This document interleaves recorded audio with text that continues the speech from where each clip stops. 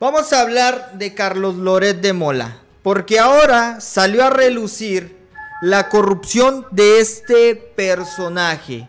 Salió a relucir lo mentiroso que es. ¿Necesita Carlos Loret de Mola ser investigado? ¿Es posible que un periodista de la talla de Carlos Loret de Mola pueda ser investigado? Todos estos temas los vamos a abordar porque resulta que Laura Barranco, esta periodista cercana a Loret de Mola, lo desmiente y dice, sí, efectivamente, Carlos Loret de Mola eh, sí estaba eh, inventando novelas, sí estaba ayudando a Genaro García Luna y, pues bueno, en 13 ocasiones le dijeron a Loret Mola que parara ya, ¿sí?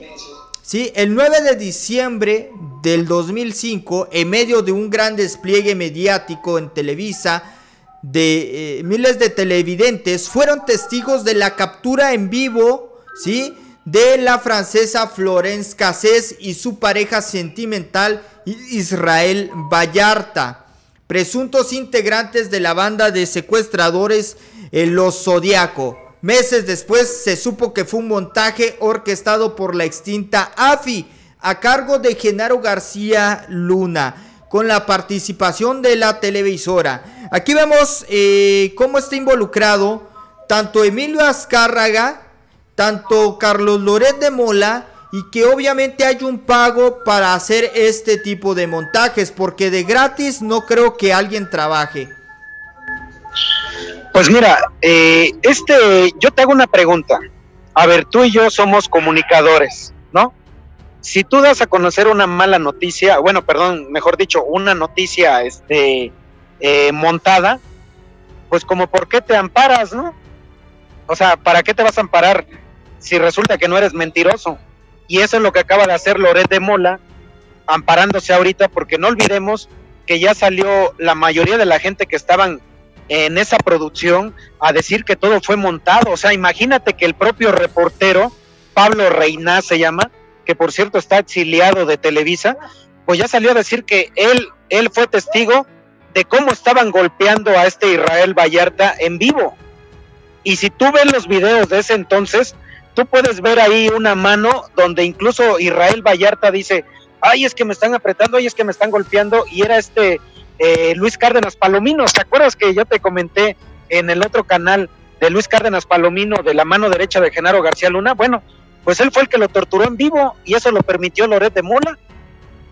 Pues, o sea, dice, ay, es que yo no sabía de este montaje y, y después de todo este gran show mediático, eh, recuerden que también salió a desmentirlo en la propia televisora, en su programa estelar matutino, que era Primero Noticias, y dijo, sí, admitió que esto sí había sido un montaje, pero que él no tenía nada que ver Ay, pobrecito, como sufro porque yo nada más soy un simple empleado. Pero aquí lo interesante en el tema Florence Cassés es como Laura Barranco está sacando todos estos trapitos al sol y, legalmente, como tú dices, se ampara porque el miedo no anda en burro, o bueno, el miedo sí anda en Loret de Bola.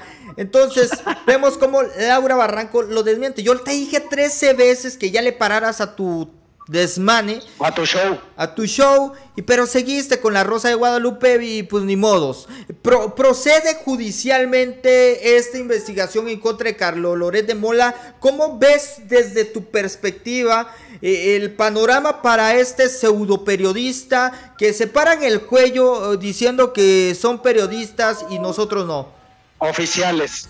Eh, su título de ellos es que son periodistas oficiales porque trabajan para los consorcios televisivos muy amplios. Pero déjame decirte una cosa, mi querido Iber. Hay dos máximas en el periodismo que creo que aplican muy bien para ti, para mí y para los demás eh, comunicadores que son independientes.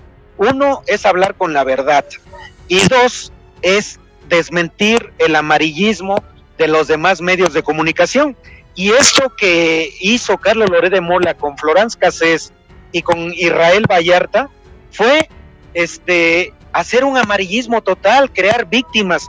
Y yo te pregunto, mi querido Iber, ¿alguna vez supiste que eh, Genaro García Luna creó un, este, un programa de recompensas que era donde si tú denunciabas a, los secuestradores te daban hasta 15 millones de pesos, pues déjenme mal pensar, déjenme mal, mal, viajarme, como dicen por ahí, pues ¿no crees tú que este caso lo hayan creado para cobrar esa recompensa y se haya llevado 15 milloncitos de pesos Carlos Loré de Mola? Pues sí, es, que estos tipos, o sea, no, no, no sacian su sed de dinero, siempre quieren más y más dinero. El problema radica aquí en que Genaro García Luna quería levantar a toda costa su imagen, e, esa es la verdad. En la serie el, el, Chapo podemos ver un poco de la personalidad de este personaje cuando es interpretado por este personaje, válgame la redundancia, Conrado Sol, ¿no? El fin de de Genaro García Luna eh, eh, quería ser presidente de la República, ¿no? Eh, así se relata, así está escrito, ¿no? Sí, después de Carlos, de este Juan Camilo Muriño, pues él era el segundo amante que le quedaba a Peña Nieto, perdón, a este Calderón. Sí, sí, sí, porque también hay que mencionar esto, que, que, es homosexual, pero bueno, no nos vamos a meter en eso ahorita, en ese aspecto, pero lo cierto es que se le salió todo de las manos con la guerra contra el narco, ¿no? Entonces, es ahí cuando llega Peña Nieto y renuncia a, este sueño guajiro porque se salió de control y sí, la, sociedad iba a empezar a reclamar, pero ojo, eh, cuando hace poco entrevistamos a las personas allá en México, muchísimas personas ignoraban por completo quién era Genaro García Luna. ¿Por qué? Porque vemos la mano negra mediática de los medios de comunicación. No le daban la importancia que deberían a este personaje, no lo nombraban mucho porque querían levantar su imagen. Les estaba soltando un billete. ¿Qué dice el presidente Andrés Manuel López Obrador el día de hoy? Yo no voy a pagar para que hablen bonito de mí. Y eso le duele a Loret de Mola. Y le duele que ahora pues va a tener que enfrentar la justicia. ¿Tú cómo lo es?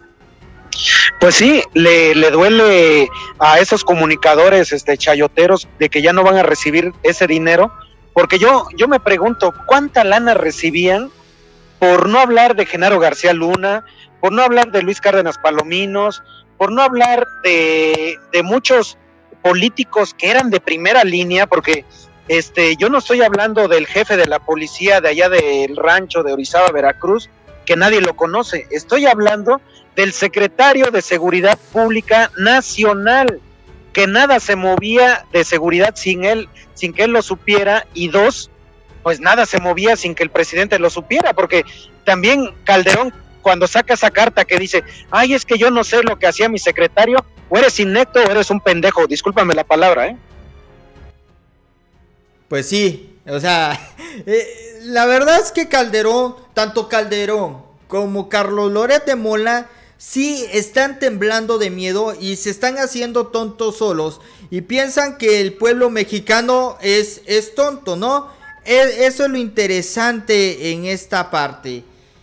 El mexicano promedio creo que estaría muy contento de que se llevara a juicio a Carlos Loret de Mola, que por cierto, que por cierto, como detalle interesante, como este punto interesante a destacar, Vamos a mencionar que Carlos Loret de Mola eh, eh, en una columna pasada dijo que el presidente usaba tanto la unidad de inteligencia financiera como la Secretaría de Función Pública para callar a sus adversarios.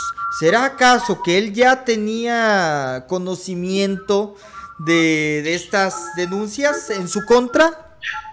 No, yo creo que este cabrón de Carlos Loret de Mola piensa que este nuevo gobierno actúa como actuaban antes, que sí utilizaban la unidad de inteligencia financiera, porque no olvidemos que Santiago Nieto fue funcionario con Enrique Peña Nieto, pero lo corrieron precisamente porque él estaba dando a conocer todas las corruptelas de esos gobiernos anteriores y lo corrieron indiscriminadamente, lo intentaron acabar a Santiago Nieto, pero pues bueno, como dice el presidente, no le mancharon ni una pluma al ganso.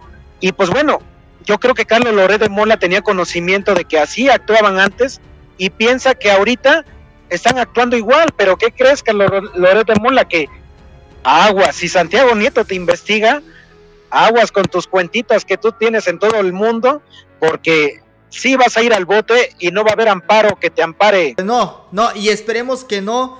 Yo veo un gran, concluyo para cerrar este programa eh, con que definitivamente está temblando de miedo. Definitivamente Carlos Loret de Mola es un mentiroso.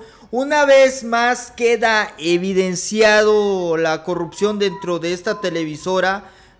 Por eso, aunque el presidente diga, no es que no sé por qué la gente odia Televisa, pues precisamente es por esto, por este tipo de tratos. Más que nada la intención de pensar que el pueblo es estúpido y, disculpen por la palabra, porque eso es lo que pensaban los chayoteros del mexicano promedio, que somos tontos y la verdad es que aquí estamos desmintiendo todo lo que están diciendo y ahora que enfrenten la justicia, pues no es venganza del presidente, simplemente estás recibiendo lo que sembraste durante años. ¿Qué sembraste?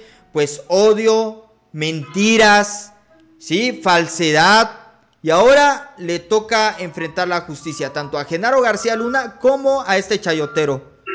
Oye, por último, este mi querido Iber, esto no es venganza, es justicia para el pueblo. Con esto concluyo. No es venganza del presidente, es justicia para el pueblo por todas las chingaderas que le hicieron esos comunicadores amarillistas, esos periodistas amarillistas, y esos políticos corruptos para todo el daño que le hicieron a nuestro querido país.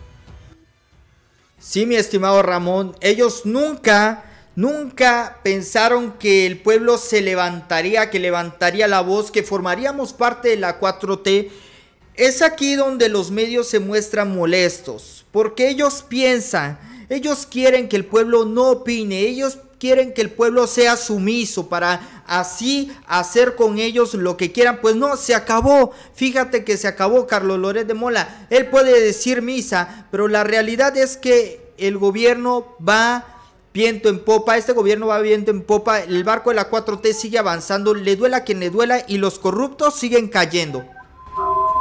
Así es, pues les mando un saludo a todos los escuchas y que estuvieron con nosotros en el programa muchísimas gracias por esta primera transmisión de Contrapeso Digital y vamos para adelante y vamos por los primeros, no, yo creo que los, primeros 100 mil suscriptores, mi querido Iber.